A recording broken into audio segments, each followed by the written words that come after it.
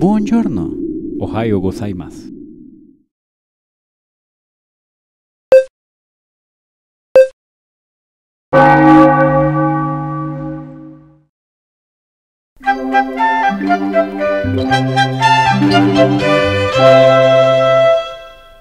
Amigos y amigas, ¿cómo están? Que tengan un día espectacular, maravilloso, Dios me los bendiga. Y bueno, quiero decirles lo siguiente.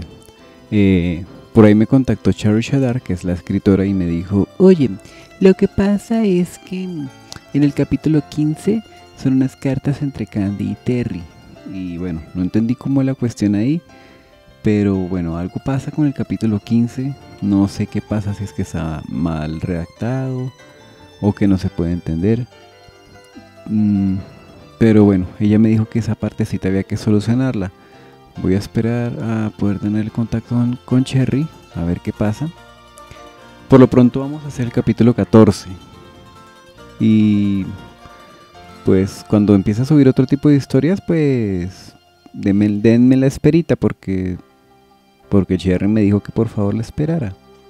Según las palabras de ella, dijo, diles que habrá sorpresas. Habrá francachela y habrá comilona. Ja, Este, este es el capítulo. Capítulo 14. El sábado por la tarde, el sábado por la tarde, estaba sentada en el salón observando a través de los cristales de la ventana. Su madre aparece por la puerta con el semblante risueño y le dice que su castigo por haber salido sin decirle nada para encontrarse con el señor Granchester era que desde Luna recibía clases de pintura. Un arte que le parece demasiado aburrido, pero al parecer Helen había contado con la mejor de la suerte o muy buena ayuda, pues tenía al profesor que iría a la casa. Luego aparece Dorothy y debía colocar todas las cosas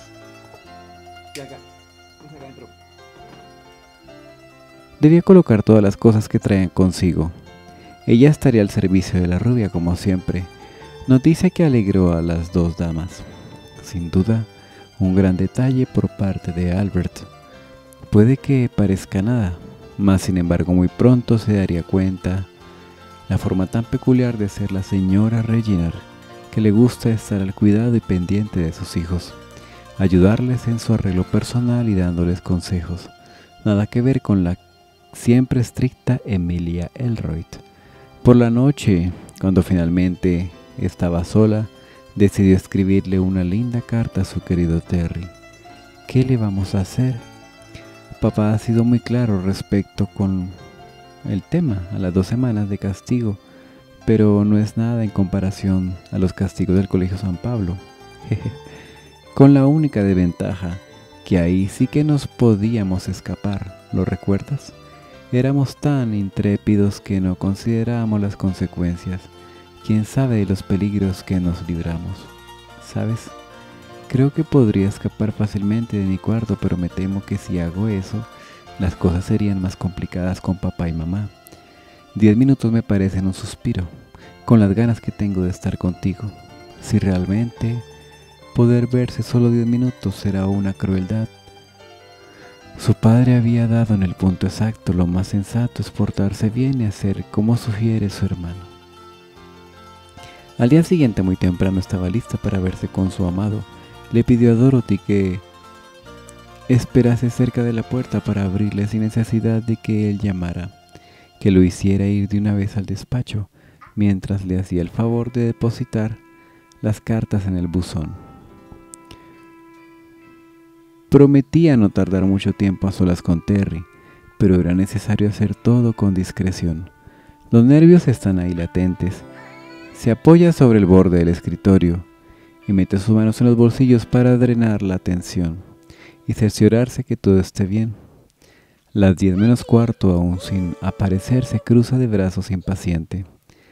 La diez menos cinco y la puerta se abre. Es él. Luce tan fresco y radiante, Pasa una mano sobre su cabellera para acomodarla. Esto hizo temblar sus piernas y secar su garganta. Candy. Terry se abraza a él. Él puede sentir su calor cuando ésta la rodea en su agarre. hunde su nariz en su pecho y sin embargo se embriaga con su aroma. Se siente tan bien estar así que las palabras sobran. Pasados los minutos levanta su rostro y busca su mirada oscura. Este la ve con ternura y se acerca más para darle un tierno beso. Su boca es una total delicia contra su voluntad y con toda la fuerza que puede reunir se separa de él. Le toma de las manos y le sonríe. Me alegro que hayas podido venir. Espero ansiosa que sea mañana para verte de nuevo. Pero ahora será mejor que te vayas. Lo empuja para que salga del lugar logrando sorprender al castaño. ¿Pero qué haces? Cuídate mucho, por favor. Le sonríe. Y cierra la puerta en sus narices. Terry perplejo pestañeó un par de veces para digerir todo. Esos hermanos son igual de crueles. Se quejó y apretó los puños. Fue entonces que se percató del objeto blanco en su palma. Señor, será mejor que se marche o la señorita estará en problemas, le dijo la mucama tímidamente al ver el semblante serio del joven. Está bien, gracias. Sin poner objeción alguna, accedió en hacer lo que le pedía. Esos hermanos rellenar, si se lo proponen, pueden llegar a ser la mar de misteriosos. Un minuto después de la rubia sale de la biblioteca y va a desayunar con su familia, deseando que Terry entienda su carta. Media hora después el castaño se encuentra nuevamente en su pequeño departamento sentado frente a su escritorio lee los jeroglíficos plasmados en el papel mientras fuma. A veces se ríe, en otras frunce el ceño y para luego terminar suspirando. Inseguro vuelve a leerla y el efecto es el mismo. Esas líneas, ella explica como si de verdad estuviese tratándose de su padre por la forma en cómo se refiere a él. Loan y sus ocurrencias no eran más que estrategias para ayudarles como buenos hermanos que son.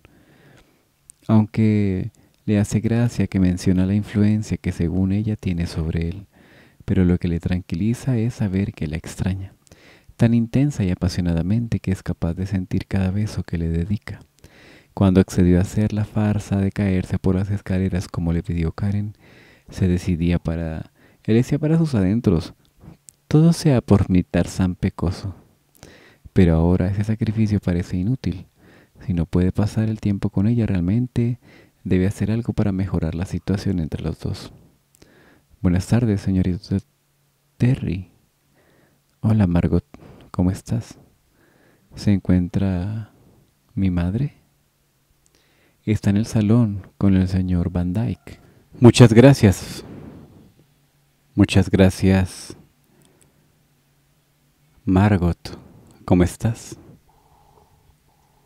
¿Se encuentra mi madre? Está en el salón con el señor Van Dyke. Muchas gracias, Margot. No hace falta que me anuncies. Se acercó hasta la puerta y llamó dos veces antes de abrir para indicarles que entraría. Al hacerlo se encontró a la pareja sentada, una al frente del otro. Había dejado de hablar en cuanto lo vieron aparecer en el umbral. Hola, me dijeron que estaban aquí. Terry, hijo, qué sorpresa. Te hacía de gira. Se levanta para recibirlo con un abrazo. Eleanor Baker. Hola madre, me alegra verte. Señor Van Dyke. Qué bueno volver a verlo. Igualmente, Terry, ¿a qué le debe la sorpresa? ¿Ya terminaron la gira? No. El equipo todavía sigue, pero yo me vi forzado a dejarla antes de que se acabara. ¿Por qué? ¿Estás bien? ¿Sucedió algo? Jeje, sí, tranquila, nada grave. Luego te cuento. Ay, jovencito, tiene muchas cosas que contarme todavía, no se me olvida la escenita del pasillo. ¿Qué sean, Eleanor? Daika aún no sabía nada de lo sucedido y los vecinos hicieron que el castaño se sonrojara al recordar. Eh, ah, madre, por favor, Terry se muere de la vergüenza o no se siente con la suficiente confianza para hablar de sus cosas frente a su novio. Ella entendió. Dai, creo que mi hijo no quiere salir con alguien, pero no está muy seguro todavía. Bueno muchacho, no te desanimes, pronto sabrás que es el, el momento indicado. Por mi parte debo marchar. Ha sido un placer saludarte y ojalá coincidamos de nuevo. Me alegro de verte. Hasta luego. Hasta luego, Leonor. Estaba tan ensimismado con sus líos que ni siquiera prestó mucha atención a la forma como se despidió la pareja. Gracias por tu visita, Dyke. Nos vemos después. El caballero finalmente abandona la estancia. Su madre habla para atraer su atención. Ahora sí, Terry, estamos solos. Dime, ¿qué te pasa? Perdona por interrumpir la reunión con tu novio, es que necesitaba hablar con alguien y pensé en recurrir a ti. Oh, por favor, no te preocupes por eso. Es más, me halaga que hayas pensado en mí y dime, ¿para qué soy buena?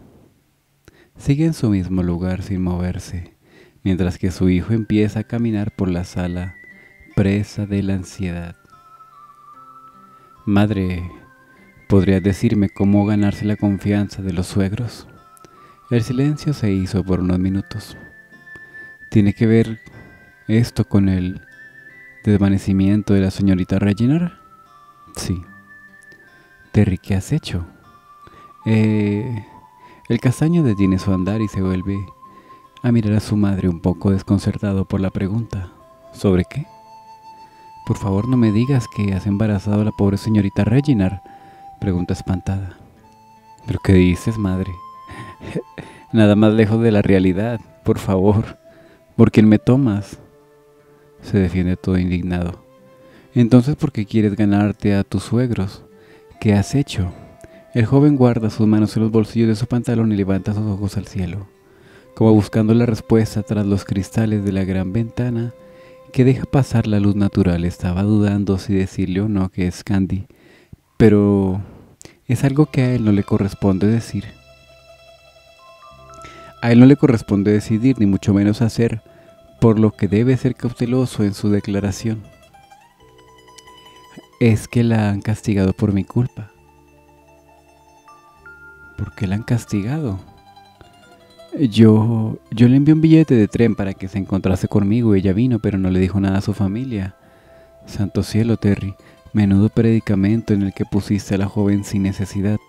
¿Qué te costaba haberle hablado con sus padres el día de la fiesta o antes de seguir con tu gira? No es tan sencillo, hay tantas cosas. Bueno, en fin, el punto es... Me estás ocultando cosas. ¿Qué más ha pasado que no me quieres decir? En ese momento no te lo puedo decir. Se gira para verle a los ojos y se da cuenta que es verdad lo que dice, pero te prometo que cuando llegue el momento lo sabrás. Cuánto misterio. Está bien, esperaré hasta según tú veas sea necesario. Dime, ¿qué es lo que puedo saber cómo están las cosas? Mm, pues está castigada dos semanas sin salir de casa. Me presentaré ante el señor Reginald y me disculpé por mi comportamiento inapropiado. También le pedí su consentimiento para cortejar a su hija. Hasta poco castigo, me parece. En otra de seguro la hubieran mandado a un convento. Madre, lo siento, divagaba. Me parece bien. Lástima que has tardado tanto en hacerte... Bueno, has tardado mucho en hacerlo, cariño. No es... Tú no eres un mal partido. Pero con eso último que me has hecho lograste tirar por la borda todo el trabajo. Eh, sí, claro. No lo pensé mucho, la verdad, a la hora de actuar. Creo que en parte es por culpa del estrés que me causó Karen. ¿Karen? ¿Cómo así? Ella y sus planes perversos para disque ayudarme, entonces... Terry se sentó para atreverse a contar su aventura en manos de su compañera. En la mansión Andri el rubio encuentra a su sobrino en el despacho queriendo trabajar en algo, pues solo mezclaba las hojas una con otra sin hacer nada más que empeorar el desorden. ¿Te sucede algo, Archie? Eh, Albert, no, ¿qué va? ¿Estás seguro? ¿No necesitas ayuda? No, tranquilo. Lo tengo todo bajo control. Seguía rebuscando y mezclando a Albert no hace nada más que cruzarse de brazos y seguir observando un par de minutos hasta que finalmente se da por vencido. Ay, ¿será posible? No lo encuentro. Dudo mucho que puedas encontrar algo entre todo eso. Se puede saber qué te pasa. Tú no eres así. No es tu forma de trabajar. El castaño deja los papeles que tenía entre mano y se dirige a servirse una copa de licor. Me temo que he perdido mi oportunidad. ¿Oportunidad de qué? El viernes me fui a visitar a Annie. Ahí conocí al hombre con el que está saliendo. ¿De verdad? ¿Me estás diciendo que Annie Britter está saliendo con un hombre que no eres tú? ¿Estás seguro? Sí, Albert. Está saliendo con Sturline Campbell. ¿Con Campbell? ¿De verdad? Vaya, ¿quién lo diría?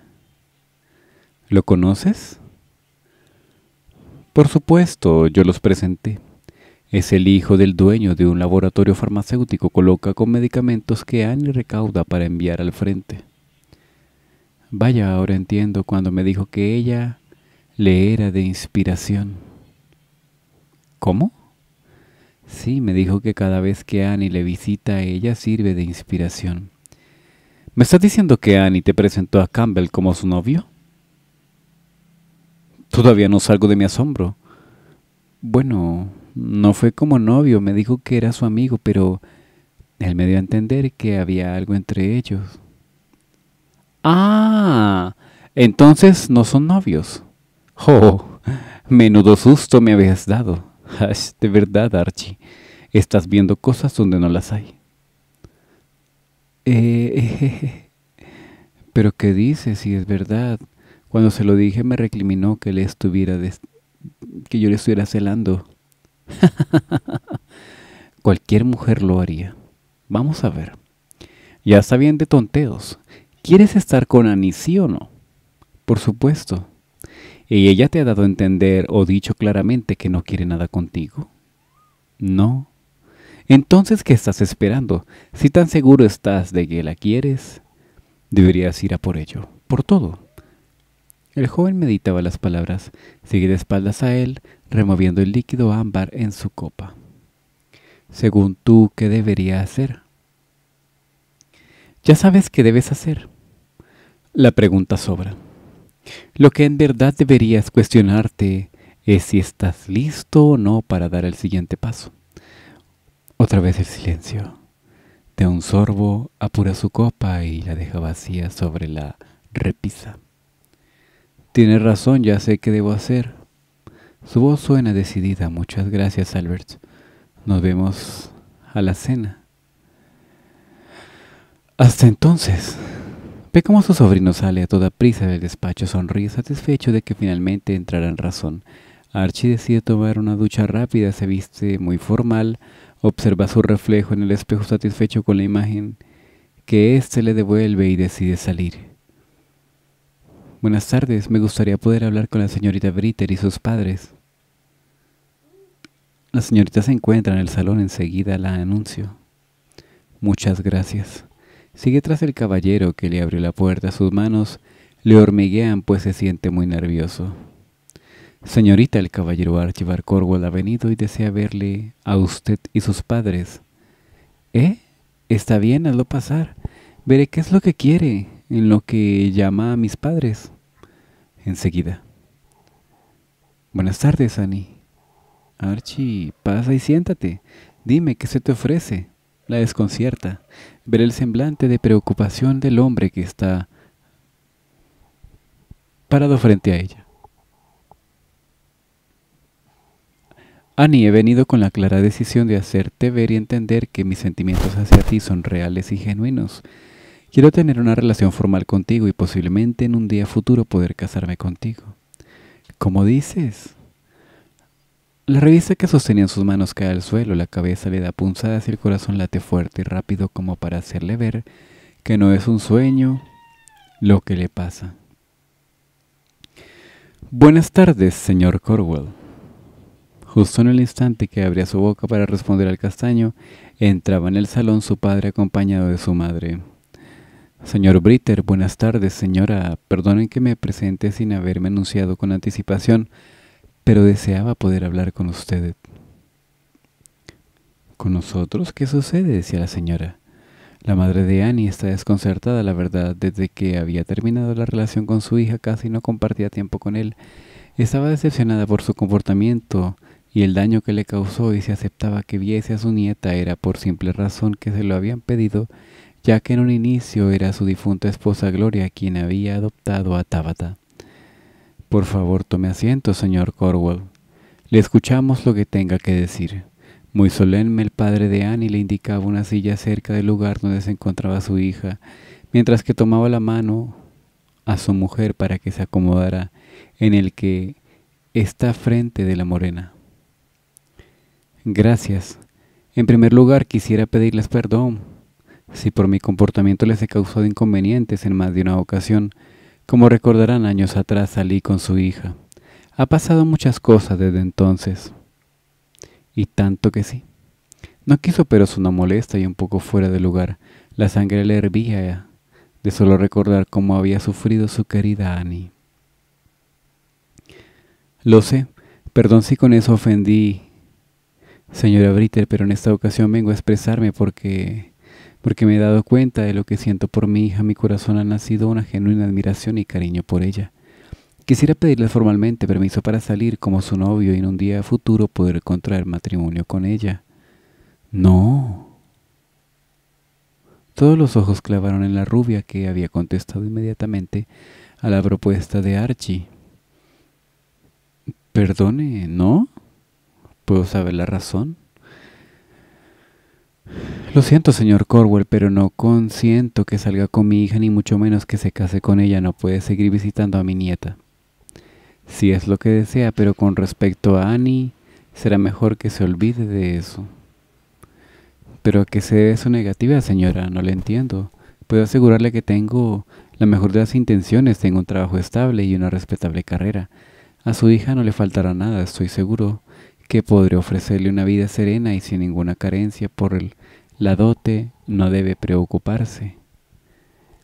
Perdone que ponga en tela de juicio sus sentimientos hacia mi hija, y una vez estuvo con ella y le hizo mucho daño. Eso es algo que no quiero que le vuelva a pasar.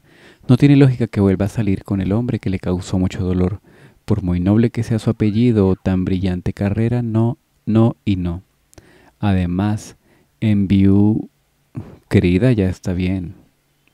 Aprieta su mano y su voz semblante está muy serio del señor Britter. Ten cuidado con lo que vas a decir, no sea que luego te lo reproches. Se hace el silencio por unos instantes. Archie es analizado de pies a cabeza por parte de la familia. Mantenía la entereza a pesar de la forma tan descortés en que lo habían tratado. Así debía seguir si realmente quería demostrar que para él no es un juego o simple capricho. Agradezco que nos haya expresado cuáles son sus verdaderas intenciones para con mi hija, señor Corwell pero me temo que esa respuesta no se la puede dar Annie y nosotros aceptaremos con gusto lo que ella decida. Solo ella la puede dar. Le dedico una mirada tierna a la morena, que no se ha atrevido a pronunciar palabra alguna hasta el momento. Su mujer, sin embargo, miraba a la indeseable y desafiante con la barbilla en alto, sabiéndose vencedora. Yo Yo... No tengas miedo, hija. Papá, es que yo quiero salir con él. Lo amo. Logró decir en un tono apenas audible, pero muy claro para los presentes. El pecho del castaño se hinchó de orgullo. ¿Cómo dices? ¿Cómo puedes pensar eso cuando puedes, cuando puedes conseguir mejores partidos, hija? Ya está bien, mujer. Recuerda que dijimos que aceptaríamos la decisión que tomase Annie. Ella ha decidido que quiere aceptar al señor Corwell, así que no tenemos nada que decir. Pero... pensaba añadir algo más, pero la mirada de su marido era muy clara. O se callaba, o habrían serios problemas entre ellos. Estaba tan serio como pocas veces lo había visto en su vida. Le dio miedo, así que prefirió levantarse y salir de ese lugar. Está bien, pero que sepas que no estoy de acuerdo con esta relación. Perdone este momento tan bochornoso que ha tenido de presenciar, señor Corwell. Mi hija Me alegro que hayas encontrado nuevamente tu felicidad. Muchas felicidades a ambos. Os dejaré a solas para que hablen. Sí. Muchas gracias, papá. Se levanta para darle un beso en agradecimiento por su apoyo. Annie le abraza. Ella le corresponde, puede sentir cómo se estremece con la caricia, mi amor. Gracias. Gracias por aceptarme, perdóname por ser tan estúpido. Um, con... Sin soltarse del agarre, puedo oír cómo late intensamente su corazón al mismo ritmo que el de él. No tienes por qué, yo también tuve parte de culpa. Te amo, Archie. Yo también te amo, Annie. Clavó sus ojos en los de ella, estaban llenos de lágrimas y de ilusión. Se inclinó más para besarla ferozmente como llevaba queriendo hacerlo desde hace varios días atrás. Nuevamente estaba frente de esa puerta llamando de algo estaba seguro. Si ella ponía sus reglas, él aceptaría gustoso, pero también pondría las suyas. El mayordomo lo llevó hasta el salón donde se encontraba su amigo, en buena compañía. Candy venía bajando las escaleras junto con Nadia cuando le pareció escuchar una risa familiar. Su madre sale en ese momento. Mamá, ¿tenemos visitas? Sí, cariño, pero de momento no puedes entrar. La rubia, ante el desconcierto, observa fijamente la puerta deseando tener visión de rayos X para saber quién era, pero su madre se la lleva abrazándola. Ven, vamos a preparar tu zona de trabajo. ¿Cómo? Se había pensado que esta pequeña galería sería un buen lugar donde puedas recibir tus clases de pintura. Es un luminoso, gracias a las ventanales podemos poner cortinas más claras o incluso quitarlas.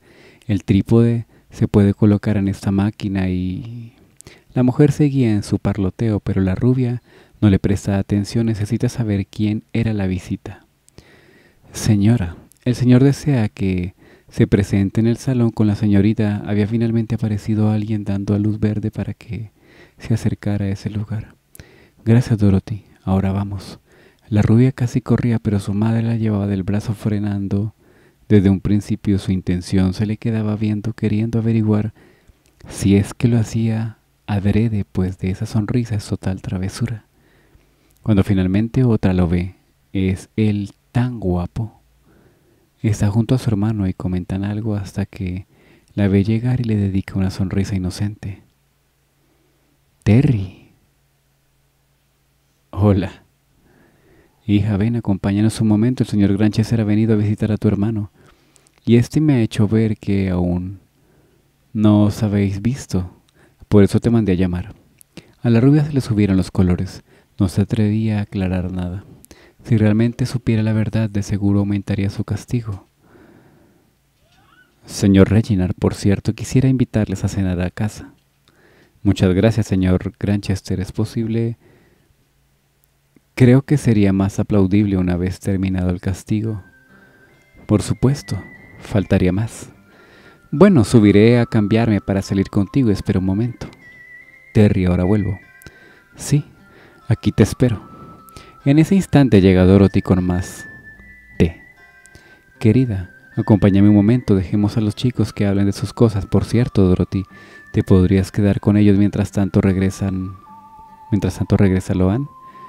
Sí, señor, hizo una pequeña inclinación y se hizo a un lado de la puerta para cumplir con lo ordenado mientras los señores lo dejaban a solas. Ven aquí, pequeña pecosa. Se acerca ágilmente hasta donde ella con ganas de enorme de besarla. ¿Acaso ese va a ser tu triste saludo para tu chico? Eres muy fría, ¿sabes? Terry, por favor. Estaba sorprendida, estupefacta, nerviosa y tímida, más que todo por la presencia de su amiga. Ven ya, no me digas que te avergüenzas en frente de tu dama de compañía, por si recuerdas. En la estación fuiste más efusiva. Oye, ¿sabes? la prefiero más a ella que a tu hermano. Si estuviese ella se hubiese interpuesto entre nosotros. ella por el contrario, por el respeto a tu intimidad, mirará para otro lado, se acercará peligrosamente hasta casi poder rozar su boca. La rubia siente su aliento estrellarse en su rostro, mira un poco por el rabillo del ojo y se da cuenta que es como Terry dice, deseo poder besar tu boca y estoy seguro de que tus labios piden a gritos ser tomados. Sin decir más la besa, suave, disfrutando de su calidez, Primero sorbe el labio inferior y luego el superior para después intensificar el gesto cuando lo deja paso para que su lengua urge en su interior y aprieta más así en su abrazo, pues siente claramente cómo se estremece. Disfruta de su miel por un momento más, no sabe cuánto hasta que se separa de ella, sigue conmocionada, le sonríe nuevamente y besa su frente. Eso te pasa por traviesa. Terry, ¿no sabes qué más decir? La observa por unos segundos. Finalmente ya sé cómo dar a mi pequeño sabueso. Yo ya sé cómo domar a mi pequeño sabueso. Terry. Esa vez suena medio molesta con el señor fruncido. Vamos, Candy. ¿Te enojas cuando es algo evidente? ¿Acaso quieres que te lo vuelva a demostrar? ¿Quieres que te lo vuelva a mostrar? Eso no es cierto y sus labios fueron poseídos nuevamente por él. Oh, santos cielos, qué bien sabe su beso, sus labios suaves y húmedos saben a canela. Deja que explore cada rincón de su interior con esa lengua traviesa. Le gustaría poder hacer lo mismo. Te quiero mucho, pequeño sabueso. Le susurra al oído para presionarla más con el abrazo y poder aspirar el olor de sus cabellos. Mm, me estás apretando demasiado. Apriétame. Lo siento, ¿te hice daño? No, tranquilo, porque estás tan eufórico. Parece poco tenerte entre mis brazos.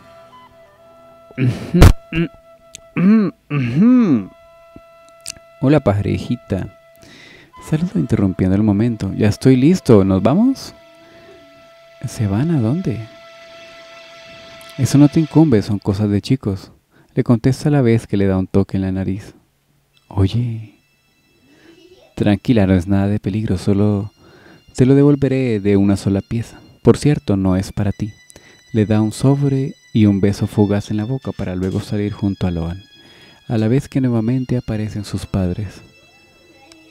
Hasta luego, mamá, papá. Hit con cuidado. Los mismos hechos se repitieron en los siguientes días.